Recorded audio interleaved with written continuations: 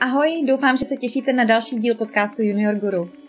Dneska si budete moci poslechnout Kláru Šťouračovou, která pracuje jako People Business Partner v úspěšném českém startupu Product Board. Rozebereme její zkušenosti s IT firm z pohledu HRisty a na konci se krátce dostaneme i k firmě, kterou spolu založila, která se zabývá kurzy programování pro děti Make IT Today. Tak příjemný poslech. Ahoj, vítám vás u dalšího dílu podcastu Junior Guru a dneska je tady se mnou moje kolegyně Klára Šťouračová. V současnosti pracuje na pozici People Business Partner v Product Boardu a také je spoluzakladatelkou kurzu programování pro děti Make It Today. Ahoj Kláro. Ahoj Pavlíno, zdravím všechny posluchače. Pojďme uh, začít tvým působením v HR, což mě vlastně dostává k mojí první otázce. Uh, aby jsme si ujasnili terminologii, protože já jsem se od začátku své kariéry setkávala hlavně s pojmem HR oddělení, ale v poslední době tak se čím dál tím víc objevuje pojem uh, people oddělení, people operations. Tak uměla bys mi říct, jaký je mezi tím vůbec rozdíl? Mm-hmm. Uh, dobrá otázka. Uh, já, já sama jsem se nad tím hodně zamyslela, jakoby jak to, jak to vysvětlit. Um, a myslím si, že jako tak, jak já to, já to vnímám a tak, jak vlastně, um, proč, proč se to takhle jako v těch, a hlavně se to objevuje jako v technologických firmách, um, který vlastně uh, to HR berou trochu víc strategicky, a tak jako to HR v původním slova smyslu, jak to vlastně ty HR oddělení měly nastavený a jak, jak, jsou, jak jsou zavedený, tak je to nějaký oddělení, kde prostě uh, se řeší nějaký, nějaký jako administrativní věci. Um, když člověk jako se chce dozvědět třeba o, o, o, o svým, uh, o svým jako mm, o své výplatní pásce, mm-hmm. nebo ho potřebuje nějaký potvrzení uh, o zaměstnání a tak dále. Že to, je mm-hmm. tak, že to bylo, myslím si, vnímaný hodně tak jako um, jako transakčně, jako administrativní, administrativní oddělení kancelář.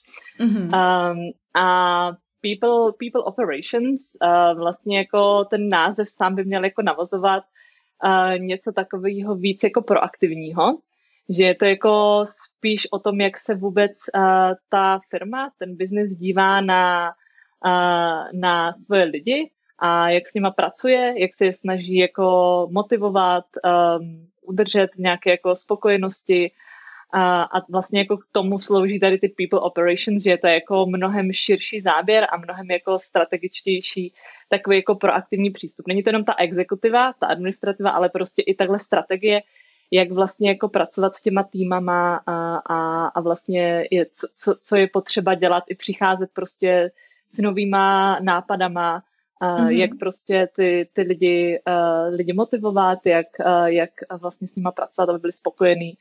A, a vlastně jako bylo to, bylo to takhle jako přínosný pro obě strany, jak pro ty lidi, tak, tak pro biznis. Mm-hmm.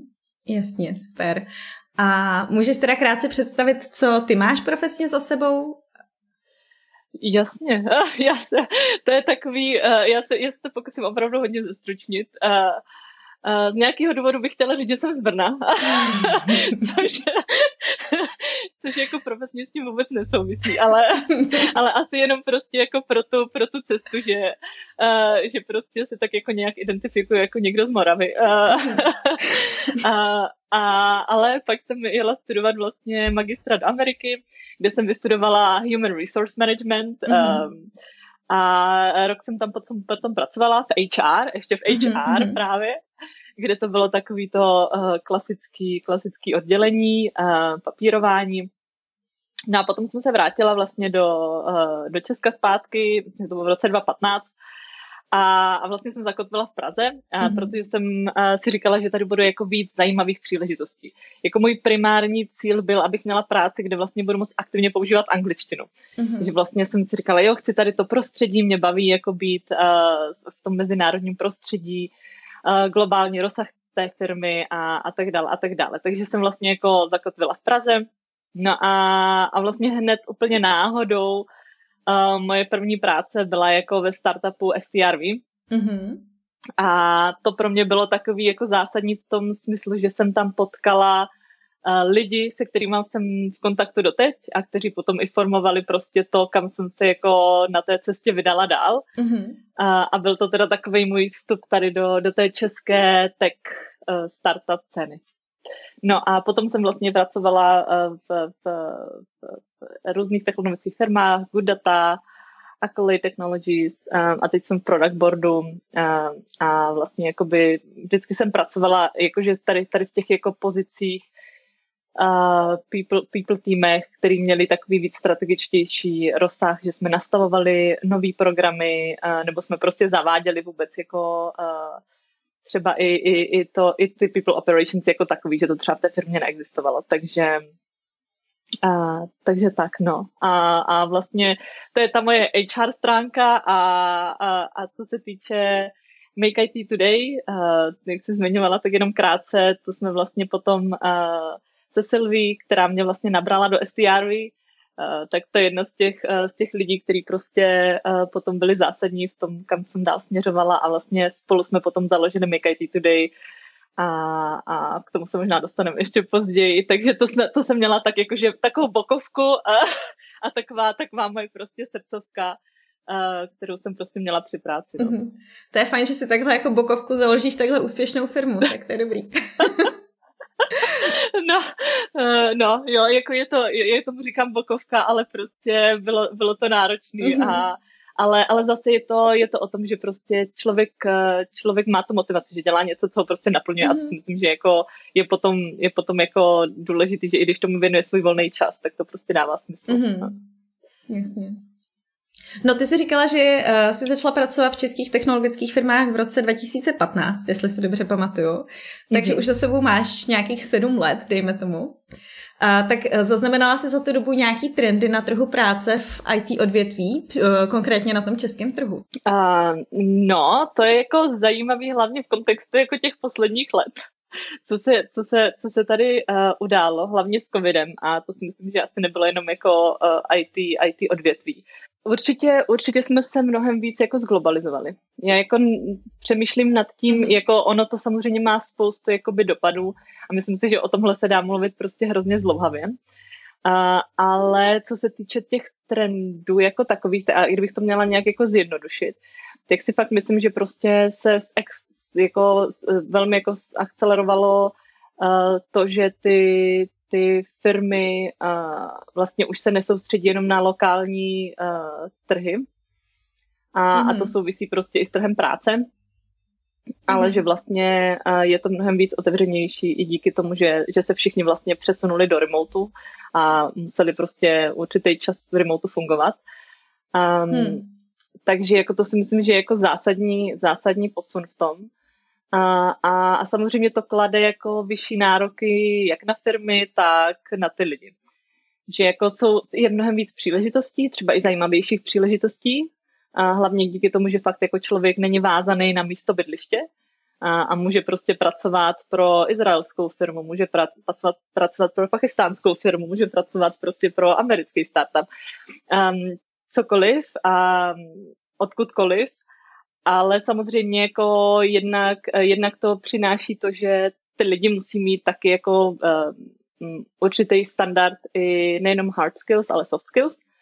A musí mít nějakou znalost angličtiny. Um, a vlastně se porovnávají s těma globálníma kandidátama. Takže si myslím, že prostě na jednu stranu jako je to, je to skvělý, je to skvělý, že je prostě víc příležitostí, a pro ty kandidáty si myslím, že to, že to um, zvyšuje tady ty nároky a zároveň pro ty firmy, které lokálně bojují uh, vlastně jako s těma, s těma firmama uh, v, v té dané lokalitě, tak vlastně ještě zároveň prostě do toho při, přichází tady ten jako globální rozměr. A to znamená, že jako pro ty firmy je o to důležitější si uvědomit vlastně, co, co je ten jejich uh, jakože trademark, a čím se jako chcou mm-hmm. odlišovat, uh, co, co bude to, co vlastně, jak, budu, jak budou oslovovat ty, ty lidi, co bude to, uh, to jiný, co budou dělat pro to, aby, ty, aby ta práce prostě byla uh, v té jejich firmě pro ty lidi zajímavá a, a uspokojující. Mm-hmm. A ty jsi říkala teda, že uh, hlavně je to teda ta remote work, která se za poslední dobu změnila. To dává určitě smysl. A jak se ty díváš osobně na práci juniorů na full remote? Myslíš, že to dává pro juniora smysl, nebo, nebo by junior si měl spíš nejdřív zaměřit na to, aby byl někde on-site, aby se díval přímo pod ruce kolegům? A nebo, nebo, nebo si myslíš, že to nemá smysl a může rovnou jít remote?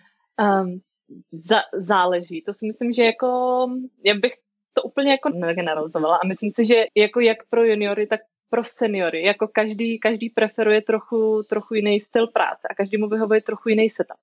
Ono samozřejmě jako je jednodušší, si myslím, eh, když, když jako seš s tím člověkem jako vedle sebe mm-hmm. a, a mm, jako jde, jde to rychleji, můžeš, můžeš prostě se ptát na ty věci, uh, sedíte vedle sebe, koukáte na to stejně. Um, ta, ten transfer, uh, transfer těch, těch znalostí jde, jde rychleji, určitě.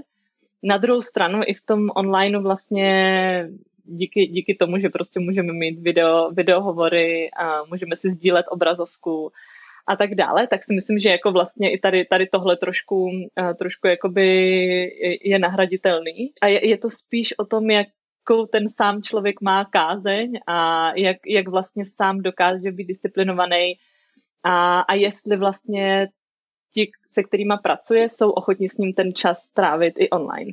Jako určitě pro ty, pro ty juniory je, jako je třeba delší ten čas toho, než se třeba onboardujou, mm-hmm. um, než jakoby se za, zaběhnou, seznámí se s těma systémama, uh, pochopí ten produkt mm-hmm. a tak dále a tak dále. A jako myslím si, že, že jako i, i jednodušší třeba, když, když se s těma lidma dokážou bavit napřímo um, i z jiných týmů, že prostě dostávají takový ten uh, komplexní pohled a pomáhá jim to se jako rychleji zorientovat, uh, než když prostě jako člověk sedí sám doma a samozřejmě jako se, uh, se dokáže s tím týmem jako spojit, ale ale zase je problém v tom, že každý v tom týmu má nějaký svůj workload a prostě potřebuje, potřebuje pracovat na věcech, takže tam, tam jako hodně záleží i na tom, kolik jsou tomu ochotně věnovat ti ostatní lidi z týmu a jak vlastně je to tam uh, koncipovaný. Ideální je, a to, to si myslím, že jako pro oba případy, jak online a remote, tak když už je tam nějaký zavedený systém pro ty juniory, kdy třeba jako mají buddy systém, kdy má ten člověk nějakého dedikovaného seniornějšího člověka, s kterým vlastně jako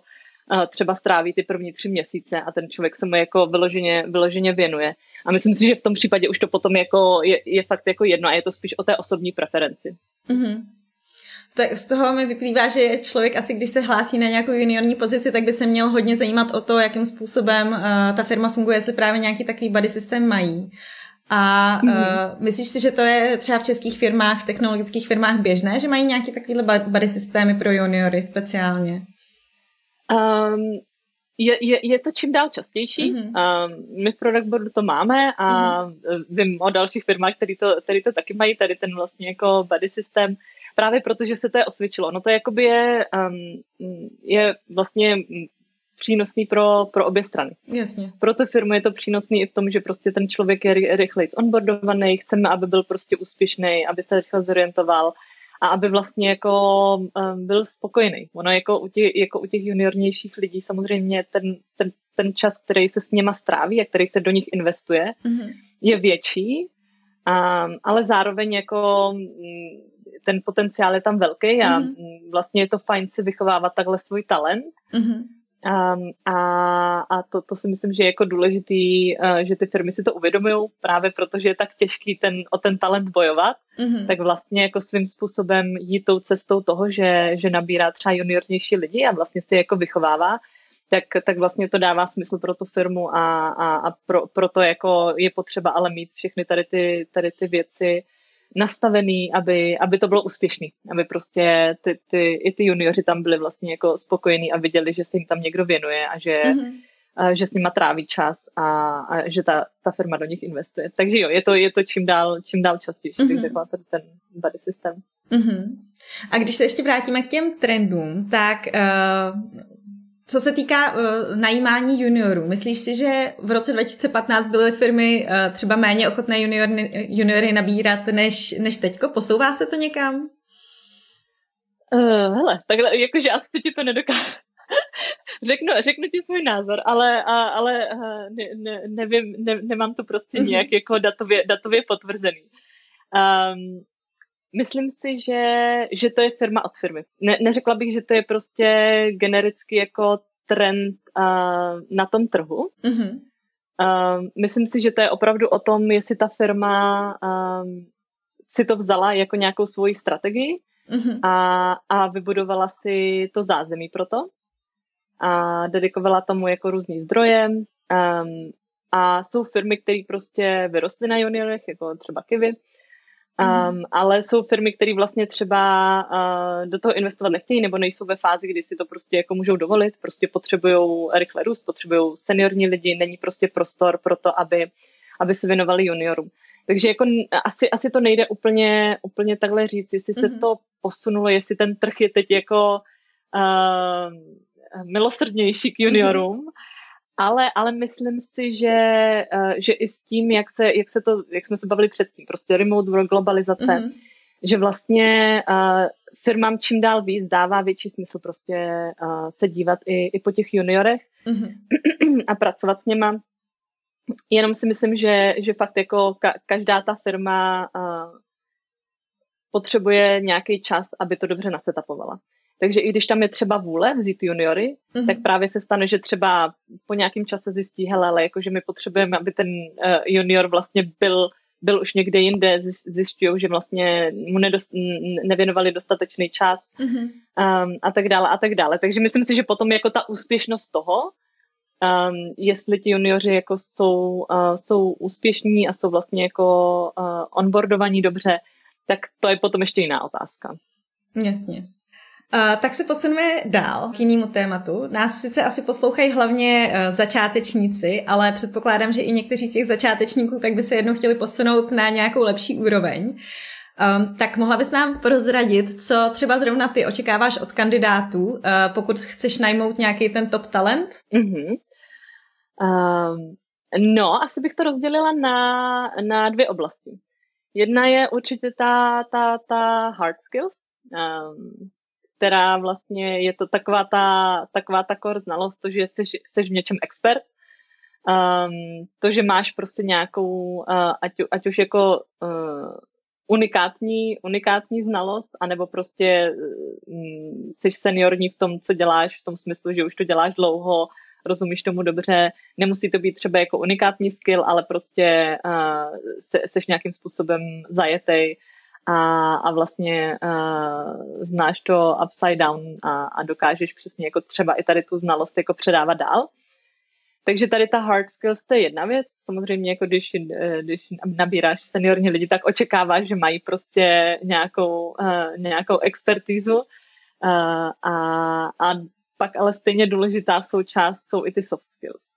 A to, um, to prostě je umění komunikovat, spolupracovat, mm. i nějaký jako leadership. A to je jako je hrozně důležitý pro, pro to, aby mohli přenášet ty svoje znalosti, dovednosti na ten tým a vlastně být schopní um, tady, tady, tady tímhle zapůsobit uh, na to pozitivní změnu v tom, v tom týmu a uplatnit jako tu hodnotu, kterou mají.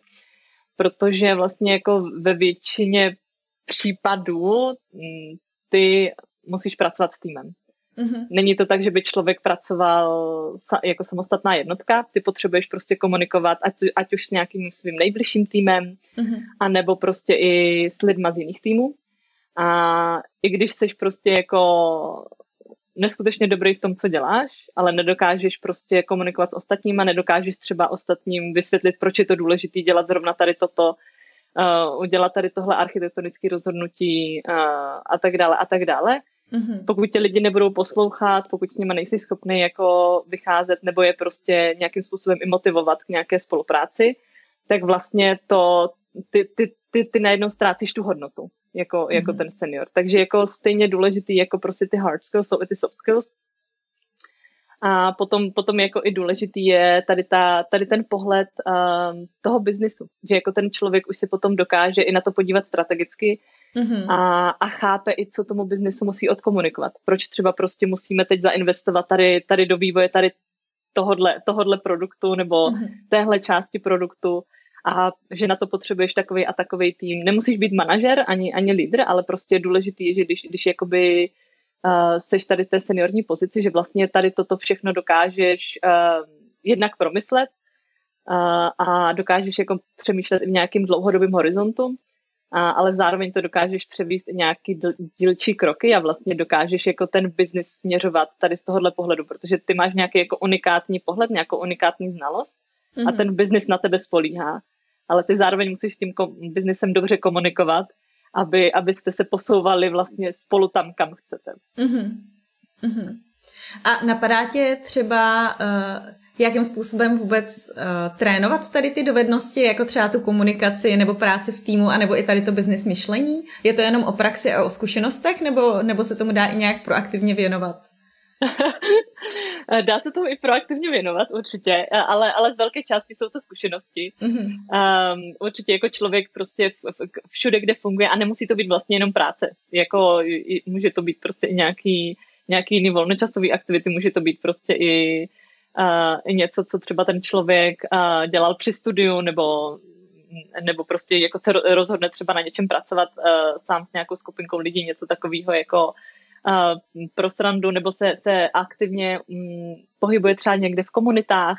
Mm-hmm. To si myslím, že jako je zajímavý, um, že takhle se může jako rozvíjet vlastně ten, uh, ten networking, to mm-hmm. znamená poznává nový lidi uh, a tady ty kontakty si myslím, že jsou hrozně důležitý. Um, že jako tím si tak nějak jako vytváří tu, tu síť kontaktů a ono tady to, to jako má velkou přidanou hodnotu.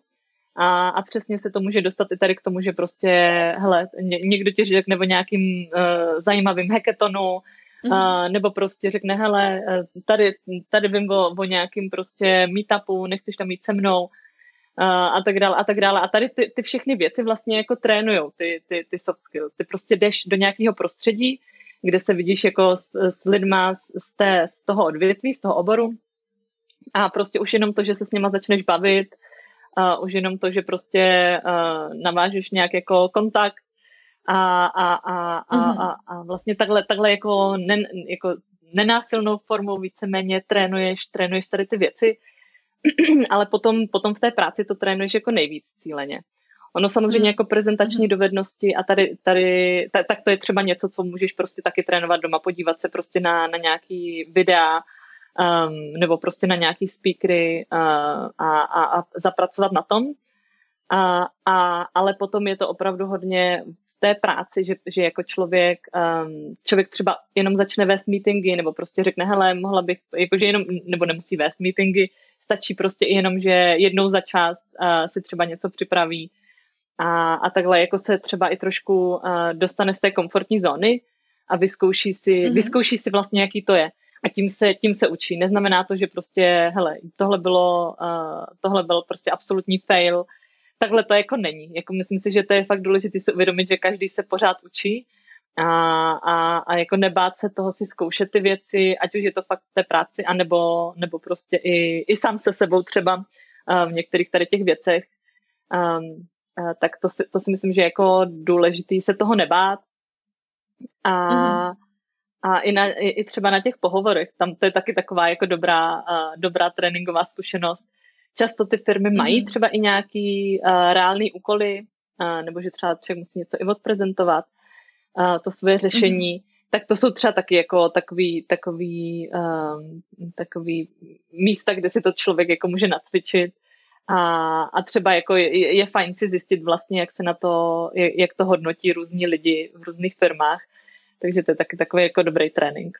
Mm-hmm, super, tak to moc děkuju. A teď jsi mi tak nějak odpověděla na další otázku, co jsem tady měla připravenou, na, jaký, na rozvoj jakých dovedností se zaměřit a jak. Tak se na, pojďme podívat na druhou část té otázky a to, jestli na, naopak existuje třeba nějaká chyba, něco, co často výdáš třeba u IT profesionálu, ať už to jsou junioři nebo klidně i pokročilejší, který by se lidi podle tebe spíš měli vyvarovat ve své kariéře. Dobrá otázka. um, já si myslím, že co, co je důležitý, jako um, teď, teď to zase vezmu asi možná ze dvou částí. Jedna je to, jako když, když se vůbec ucházíš o práci mm-hmm. um, a potom, potom, když jsi někde ve firmě, mm-hmm. uh, už, už jako za, uh, zajetej. Když, když začínáš, hledáš práci, um, děláš pohovory, Myslím si, že hrozně důležitý je um, se snažit ukázat tu svoji realitu, tu svoji identitu, nesnažit se prostě uh, zaškatulkovat do něčeho a vlastně jako ano, je to částečně určitě o, o těch hard skills, musí člověk prostě splňovat nějaké podmínky, to, co na tu pozici, na tu roli je potřeba, ale, ale druhá stejně důležitá je část je i to prostě, jak, um, jak se bude spolupracovat tomu týmu s tím člověkem, A proto je to důležité, aby, aby um, ty lidi vlastně se snažili dozvědět o tom týmu a snažili se jako ukázat, jaký, jaký jsou i třeba osobnostně, že to má prostě taky jako důležitou přidanou hodnotu. A tady v tomto přesně to, o čem jsme se bavili, ta, ty komunikační dovednosti jako hodně, hodně pomáhají, když člověk jako výborně komunikuje nebo do, dokáže jako navázat, uh, navázat kontakt při tom pohovoru, tak to je jako důležitá součást toho. Um, no a potom, když, když, když už člověk jako je někde v týmu, někde ve firmě, tak já si myslím, že uh, důležitý je, aby, uh, aby se člověk nebál um, třeba si na sebe brát um, nové věci, zkoušet nové věci, se kterými nemá předchozí zkušenost, um, nebát se ptát, mít drive um, a, a mít chuť se vzdělávat. A, a jinak si myslím, že jako je taky důležitý, aby člověk jako vzal, vzal ownership za, za tu svoji kariéru. Jako asi se nedá úplně očekávat, že, um, že vlastně ta firma pro tebe bude mít um, připravený schůdky, um, jak se budeš posouvat dál, že toto je hodně o tom, že ty se o to zajímáš, um, že se ptáš svého manažera, hele, co můžu zlepšit, uh, chceš, chceš prostě ten feedback, um, aby se mohl posouvat dál. Takže to si myslím, že je důležitý um, tady o tohle se potom taky zajímat, um, zjistit, jestli prostě ve firmě třeba nějaký uh, uh, career ladder, um, to znamená, že jsou, že jsou vymezený uh, levely seniorit a nějaké očekávání na ty, na ty jednotlivé levely.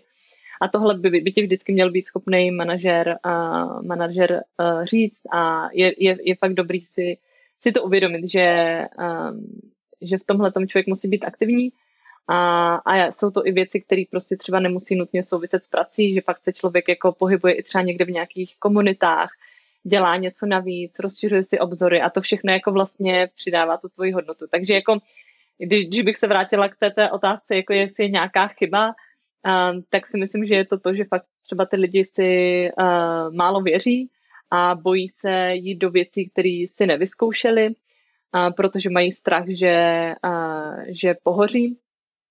Ale, uh, ale to je důležité jako si, si nastavit v tom, že hele, každý se učíme a, a každá, každá příležitost si zkusit něco nového tě posune, i když třeba nedopadne dobře.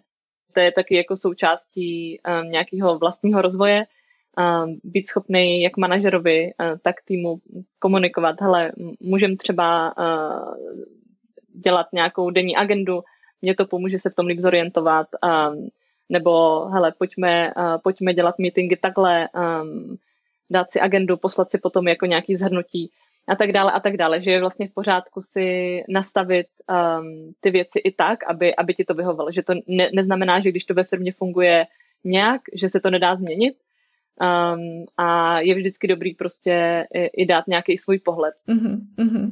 Děkuji moc. A teďko se dostáváme k části rozhovoru, který je pro mě taky tak trošku sobecký, e, kdy, si, kdy se s tebou chci trochu pobavit o uh, právě o Make IT Today, protože to jsou kurzy programování pro děti. Kdyby někdo neznal, ty jsi spoluzakladatelka, tak by mě zajímalo, jak jsi se vůbec k tomu dostala, ke kurzům programování pro děti.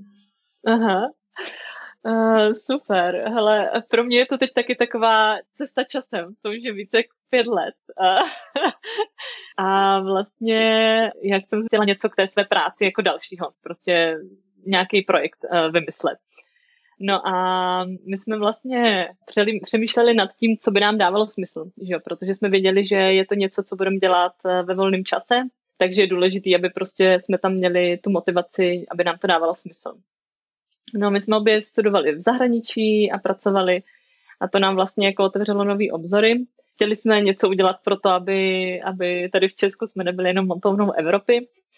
A víceméně, když jsme se dívali na to, eh, co nám tady chybí, eh, tak s tím naším eh, backgroundem toho, že vlastně jsme pracovali v softwarových firmách, tak, tak jsme se začali pohlížet potom vlastně, jak to vypadá s tím vzděláváním u dětí té technologické oblasti, protože když jsme vyrůstali my, tak si pamatuju nějaké své hodiny informatiky, opravdu jako byly docela tristní.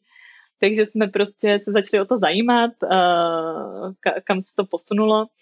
A bylo to pro nás jako zajímavé zjištění, že vlastně i přesto, že se všude už mluvilo o tom, že žijeme v digitální době, a že vlastně jako eh, digitální dovednosti, že je to nějaká nová forma gramotnosti, takže vlastně systematicky se ještě tomu moc, moc nevěnovalo.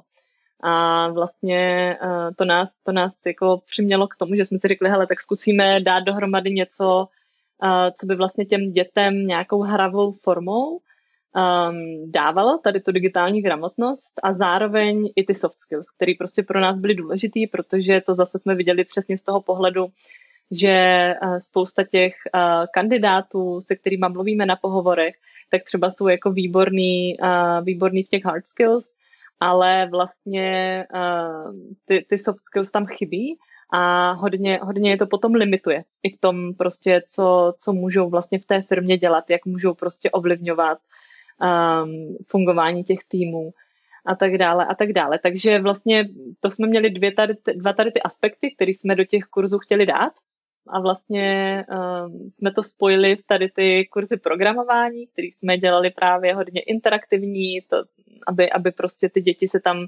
nějakou fakt hravou a nenásilnou formou uh, učili jak ty hard skills, tak ty, tak ty soft skills. A byl o vaše kurzy už od začátku velký zájem, a nebo jste na začátku s něčím bojovali? No, ale to bylo prostě zajímavé. To, jako ono se, jako teď na tím přemýšlím, že vlastně to jako před pěti rokama více jak pěti rokama a my jsme, my jsme vlastně uh, byli překvapení, že i přesto, že ty děti třeba na škole se to neučí, takže uh, ty rodiče jako zatím nechápali jako tu důležitost uh, toho vzdělávání v téhle oblasti že jsme se hodně setkávali s tím, že, uh, že jsme bojovali tady s těma předsudkama, jako no já, já přece ne, nedám dítě do kroužku, kde bude sedět u počítače, sedí celý den u počítače, sedí u tabletu, je na telefonu. On tomu rozumí, on prostě jako ví, ví jak s tím zacházet. Um, takže to bylo takový, že e, jako naši první vlastně děti v kurzech byly děti různých jako zakladatelů IT startupů a tak dále, kteří vlastně jako, vě, jako viděli a věděli, tu důležitost toho. A, a takže my jsme, my jsme kolem toho dělali hodně, hodně takové jako osvěty, snažili jsme se to těm rodičům jako uh, nějak jako přiblížit, co to vlastně znamená, protože sami ty rodiče kolikrát vlastně si to nedokázali vůbec představit, co to je, že jsou sami třeba jako v téhle oblasti uh, nedotčený. Programování je takový hodně kreativní, takže si tam každý prostě může jako realizovat uh, ty svoje věci. A, a takže ty děti to rozvíjí prostě nejenom třeba to kritické myšlení a logický, ale vlastně i tady to jako kreativní stránku. A, ale, ale na začátku jsme s tím bojovali, to vysvětlit a pak tam byly ještě takový ty klasické stereotypy, že, že je to jenom pro kluky. Tak s tím jsme se taky setkávali. A to, to bylo takový uh, jakože usměvný až, že prostě třeba nějak, přišla za náma hol, holčička s maminkou a ta maminka říká, no jakože Kačenka strašně, strašně chce tady na ty kurzy, ale tatínek říkal, že je to jenom pro kluky, tak jsme se přišli zeptat, jestli, jestli by mohla chodit. A, a takže, takže, takže prostě to, to, to s tím jsme se setkávali a vlastně není to tak dávno, ale prostě jo, pořád v tomhle tomu si myslím, že, že, že ještě máme dlouhou cestu před sebou, aby, aby jsme jako vysvětlili, o co, o co jde a, a že to vlastně není jenom pro mhm, kluky. Mm-hmm, vidíš, to je zajímavý. A, a e, od kolika let bys ty doporučila začít děti seznamovat s programováním? No, to je těžká otázka. Já bych to jako nechtěla generalizovat. Um, úplně z toho pohledu, jako jsem, jsem tady expert na vzdělávání dětí v programování. To vůbec ne. A když to vezmu úplně, úplně jako z toho, z toho nejširšího pohledu, Uh, tak bych řekla, jako, že je to stejný jako s čímkoliv jiným, co se snažíte děti naučit. Číst, psát, plavat, uh, nevím, prostě ně, nějak jako uh, musíte s tím dítětem pracovat, vidět, jestli ho to baví, nebo jestli je to něco, do čeho ho musíte nutit, nebo naopak, je to prostě něco, k čemu jako uh, přirozeně, přirozeně inklinuje a baví ho to.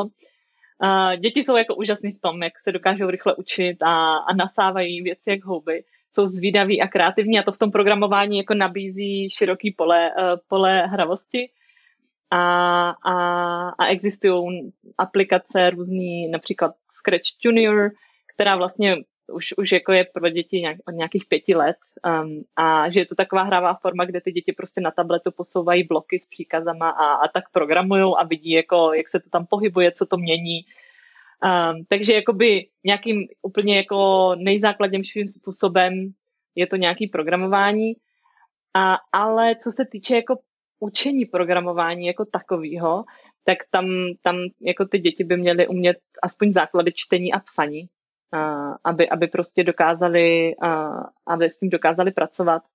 Takže, takže tak bych to asi vzala, no. Tak bych si dala asi nějakým kritérium, že vlastně takový to jako, když bychom se bavili o tom programování už takovým nějakým víc, uh, víc systematičtějším učením, tak, tak to dítě by mělo umět číst a mhm. psát. Mm-hmm, jasně. Super, tak jo. Uh, tak Kláro, já ti teda moc krát děkuju, že jsi udělala čas na náš podcast. Uh, zaznělo tady strašně moc zajímavých věcí, tak ještě jednou děkuju. Taky moc děkuju. Uh, bylo to, bylo to skvělé uh, si o tom popovídat. Uh, zase mě to zpátky trošku uh, strhlo do toho, do těch začátků Make IT Today i, i HR a vlastně bylo to fajn si takhle s tebou projít tu cestu a doufám, že to, že, že to přineslo i něco zajímavého pro posluchače. Uh, já věřím, že určitě jo, takže uh, všem posluchačům přeju hezký den a doufám, že se uvidíme zase příště.